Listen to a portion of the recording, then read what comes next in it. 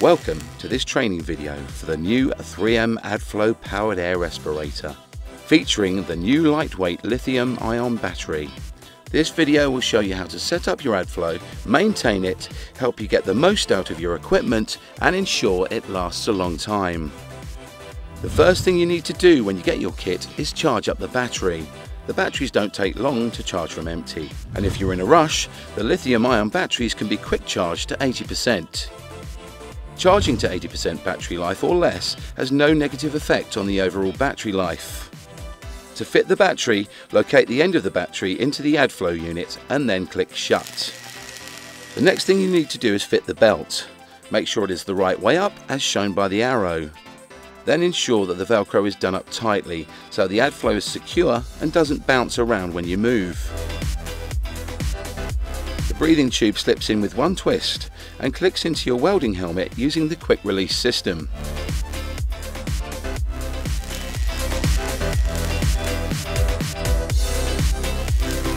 It's really important to check that your Adflo is in good working order every time you use it. Firstly, you need to check there is adequate airflow. The airflow indicator tube comes with the Adflo and can be placed into the top of the breathing tube. Press the on button once to turn on the Adflo. Make sure that the airflow is sufficient to raise the ball above the line on the indicator. Do not use the Adflo if the minimum airflow is not met. The Adflo powered air respirator is fitted with a low flow alarm which is designed to warn you should the airflow drop below the minimum design flow rate. To test this, block the breathing tube with your hand. You will hear the motor work harder to try and deliver the correct airflow. When the Adflo can no longer deliver the flow, all the lights on the particle clogging indicator and the red light on the on-off panel will be illuminated. You will also hear a high-pitched alarm. If this situation were to occur during normal use, you should leave the hazardous area immediately. Next, check that your filters are fitted correctly. Then, check the condition of the breathing tube. If it is cracked or damaged in any way, or there is dirt on the inside of the tube, replace it immediately. Finally, with the Adflo switched on, you can use the battery indicator to check the battery life. When the last bar of the indicator flashes and an audible alarm sounds, you only have 5% of the battery life remaining. If this occurs, do not carry on using the Adflo until the battery is charged. The Adflo has two airflow settings. Push the on button once to start the airflow. The first green light will show on the on-off panel. This setting delivers approximately 170 litres of air per minute. For increased comfort, you can increase the airflow to approximately 200 litres per minute. This is done by pressing the on button a second time. When in the boost mode, there will be two green lights on the on-off panel. To reduce to normal airflow, you simply push the button again for the third time and one of the green lights will go out. Press and hold the off button to turn it off. Your Adflo Turbo comes with a particle filter, a pre-filter to prolong the life of the main filter and a spark arrestor fitted.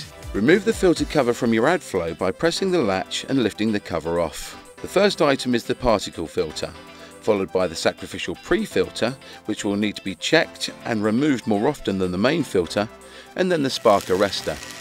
When putting the filters and spark arrestor back together, load them up into the outer cover and then connect to the turbo unit. Snap the outer cover back into place, an audible click confirms it is located properly.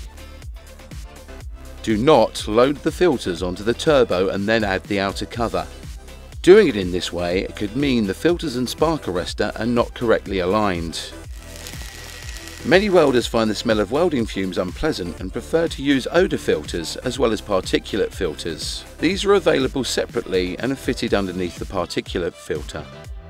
Gas and vapour filters are also available if required. Filter clogging affects battery life, but you can calculate the expected battery life based on the condition of your filters. This graph is supplied in the user instructions.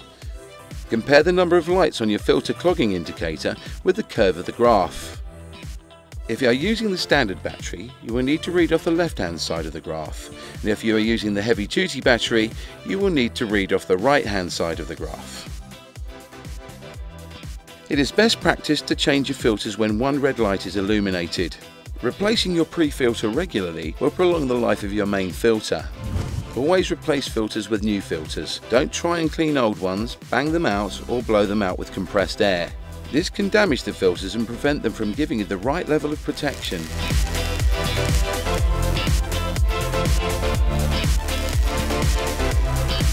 All you need to do for your monthly maintenance records is carry out your before use checks and keep a note of anything you find or replace. Periodically you may also need to clean the spark arrestor as this can become clogged. The HSC require that monthly maintenance records are kept and 3M are able to provide templates as well as care and maintenance packs to help you do this. These can be found on the internet at 3m.co.uk forward slash maintenance pack. Thanks for watching our 3M training video. We hope that you found it useful. For more information, please visit our website 3m.co.uk forward slash speedglas.